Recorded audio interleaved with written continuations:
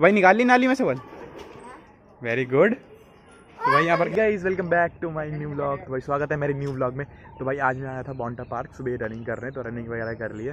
तो मैं जा रहा हूँ, ये रहा मेरा स्कीपिंग रोप तो भाई एक्सरसाइज कर लिए मैंने, जो जूते वूते पहन रखे थे तो जूते पहन रखे अब भाई चलेंगे घर, क्योंकि एक्सरसाइज है ना फिर कल से भी दिखाएँगे आपको, अभी तो मैंने कर लिया। तो मैं कल दिखाऊँगा आपको। तो अभी घर चलते भाई। तो एक्सरसाइज बहुत सारी करी स्कीपिंग रोप पुलअप्स पुशअप्स वगैरह करे। तो अब मैं व्यू दिखाता हूँ। जो भाई आगे का व्यू है ना, कुछ ऐसा है, जैसा कि आप देख सकते हो। तो भाई यहाँ पर जो बंदे ये चढ़ाई की तरफ़ है, थोड़ा सा ये ढलान जा रही तो बंदे रनिंग वगैरह करते हैं यहाँ पे। और भाई इस तरफ़ ये पूरा जंगल ही जंगल है। इनके अंदर भी रनिंग करने की जगह जो है बहुत सारी हैं मतलब दौड़ने के लिए। और सामने फ्लैग है हमारा यूनिवर्सिटी है वो रेल यूनिवर्सिटी जो है हमारी। तो भाई ये स्टीफन कॉलेज है उस तरफ़ सामने। वहाँ से रास्ता है जाने का।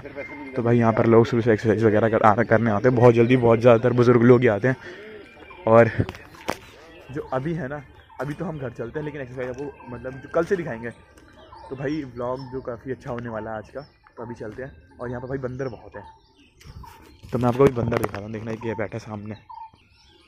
देखो ये ये बैठा हुआ भाई। ये बैठा हुआ देखो। और भाई यहाँ पर मैं सामने आया ना, गेट से अंदर आते ही राइट की तरफ़ जा रहा रास्ता। ये भी रनिंग करते हुए मतलब रनिंग वाला रास्ता है यहाँ से भी लोग रनिंग करते हुए जाते हैं भाई। ये भी रास्ता है पूरा मतलब लेकिन यहाँ पर है जो जंगल ही जंगल है भाई।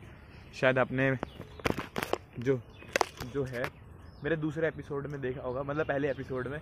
भाई साहब, उसमें मैं जंगल में जाता हूँ और दिखाया था आपको मैंने वहाँ पर भाई कैसा है जंगल वंगल होता है। वो कमेंट में पिन कर लूँगा, वो शॉर्ट वीडियो देख लेना, थोड़ा फनी वीडियो है, वो आप देख लेना।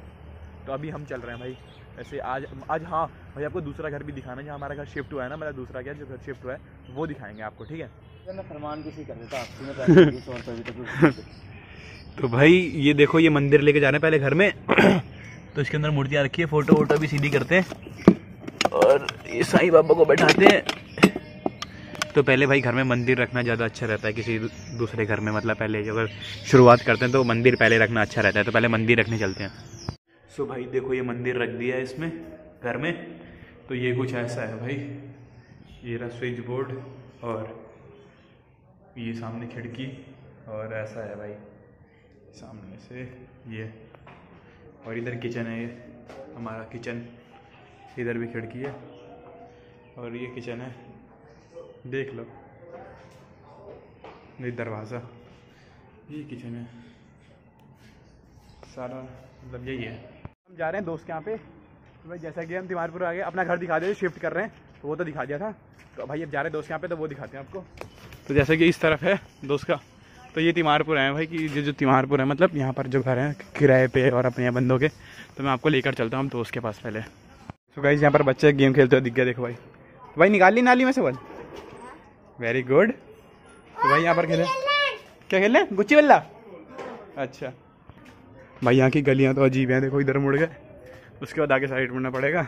ये ले जा रहा है भाई हमें। उसके बाद राइट लेफ़्ट हाँ।